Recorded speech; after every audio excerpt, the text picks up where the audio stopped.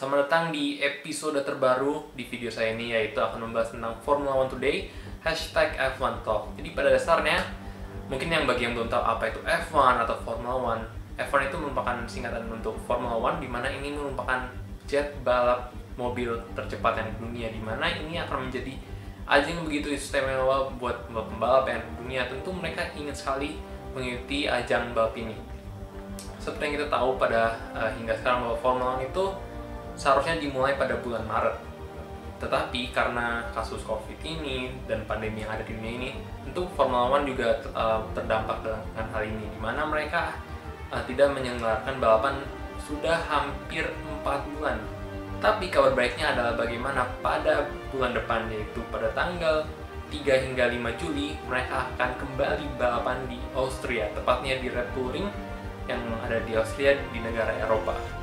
Tentu ini akan menjadi hal yang sangat menarik karena setelah sekian lama tidak ada balapan, akhirnya pada bulan depan kita akan memiliki balapan.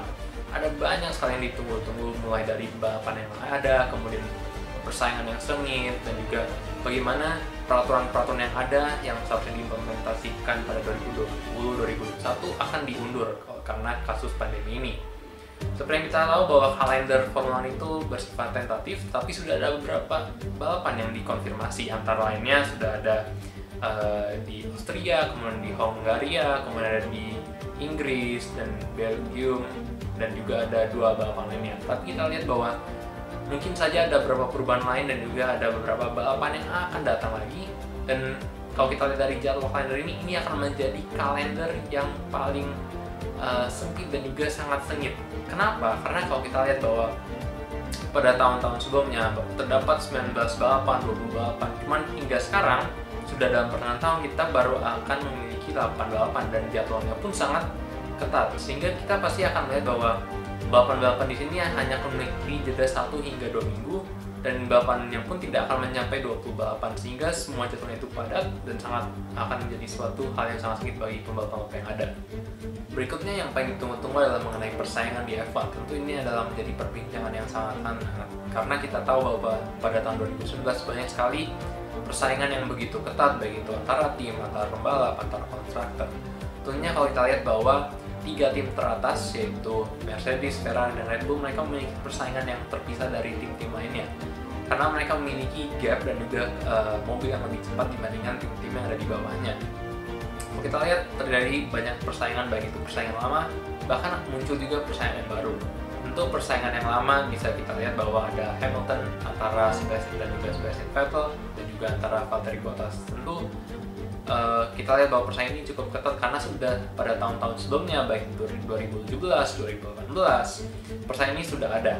Tapi suatu hal yang cukup menarik dan juga perbincangan bagi fans F1 adalah persaingan antara Charles Leclerc dari Ferrari dan juga Max Verstappen dari Red Bull. Ini menjadi perbincangan yang sangat hangat karena kita tahu bahwa mereka digadang-gadang akan menjadi juara dunia baru untuk tahun-tahun mendatang karena mereka menunjukkan potensi yang uh, apik sangat sangat baik dan juga sangat luar biasa. Ini bisa kita lihat dari balapan-balapan 2019 di mana ada persaingan antara mereka berdua di Austria dan juga ada di uh, Inggris. Ini menjadi menunjukkan bahwa mereka memiliki potensi dan juga memiliki kemampuan yang sangat baik-baik itu dari uh, dua individu tersebut maupun dari tim itu sendiri.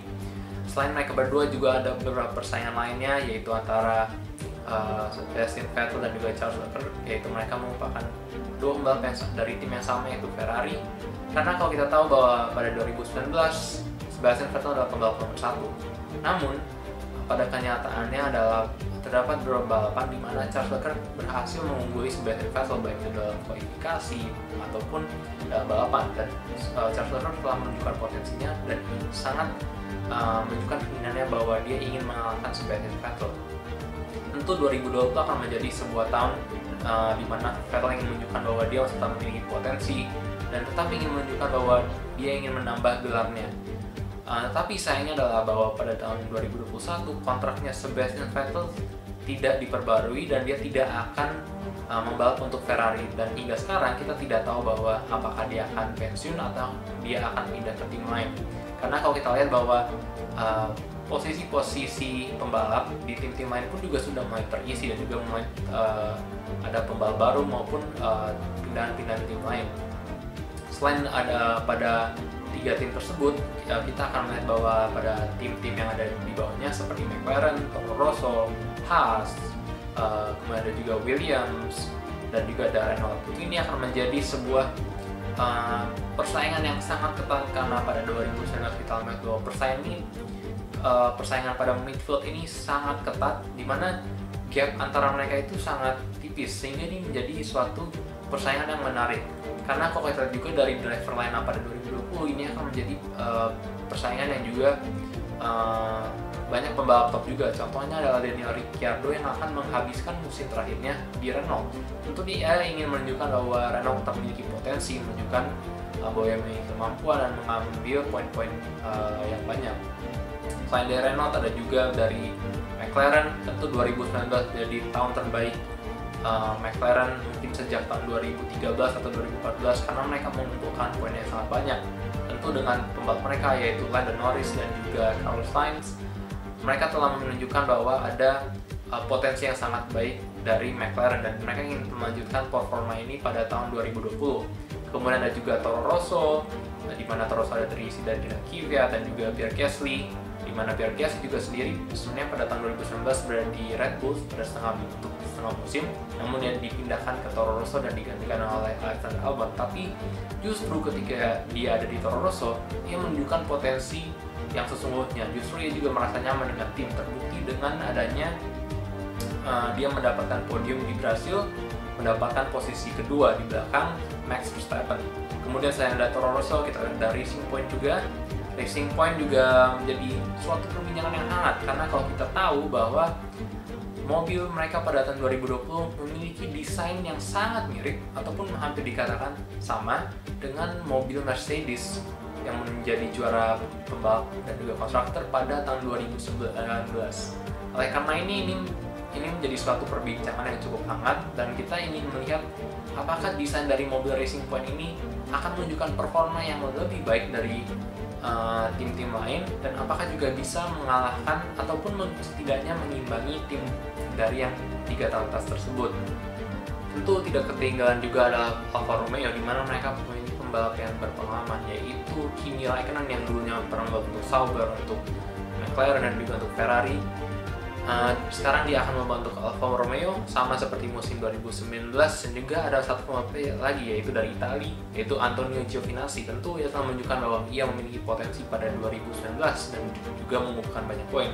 Tentu ini akan menambah persaingan yang lebih luas menjadi persaingan yang lebih sengit juga uh, untuk tim-tim yang ada di papan tengah. Kemudian kita juga ada khas dari dua pembalap mereka yang sama dari sejak awal mereka berdiri di mana ada Kevin Magnussen dan juga Romain Grosjean. Tentu mereka memiliki segudang pengalaman tetapi di saat bersamaan mereka juga memiliki rivalry yang cukup ketat karena kalau kita tahu bahwa 2019 adalah musim yang cukup panas untuk mereka berdua uh, sering bertabrakan dan juga mereka sering memiliki banyak gangguan. Oleh karena ini uh, ini menjadi suatu hal yang ingin diperbaiki pada musim 2020. Kemudian kita juga ada Williams.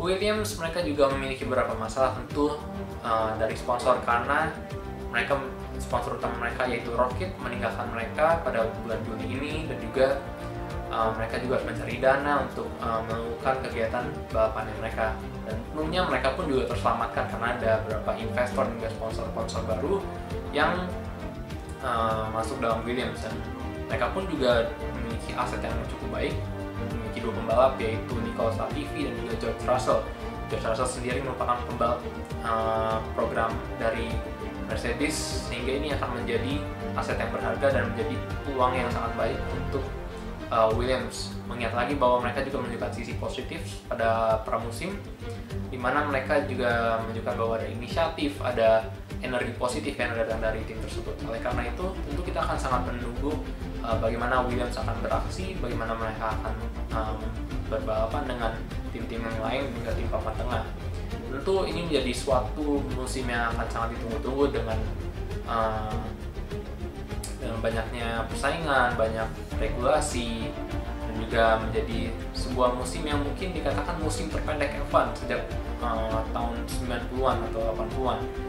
Uh, sehingga ini akan menjadi suatu hal yang sangat ditunggu-tunggu dan ini menjadi suatu hal yang akan menarik sekali kemudian kita juga akan melihat bagaimana uh, season ini akan progres karena kita tahu bahwa um, kalender dari F1 ini masih bersifat tentatif dan juga tidak menutup kemungkinan menambah balapan-balapan berikutnya agar balapan F1 itu menjadi menarik, menarik pada tahun 2020. Jadi mungkin itulah yang akan kita bahas pada seri ini, itulah yang akan kita tunggu. Kita akan menanti balapan pertama di Austria di Red Bull Ring dari tanggal 3 sampai hingga 5 Juli.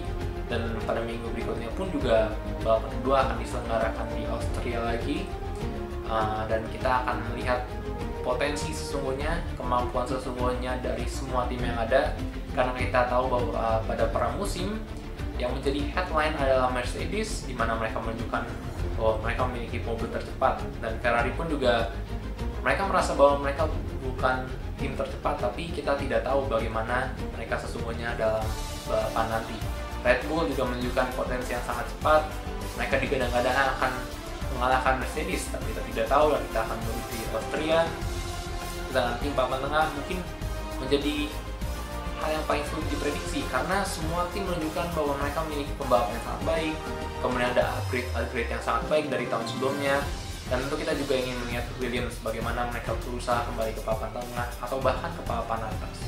Jadi untuk episode kali ini untuk Formula One Today dan juga hashtag F1 Talk ini akan menjadi uh, episode pertama menjadi hashtag pertama juga untuk F1 Talk dan kita akan berjumpa di episode selanjutnya. Terima kasih.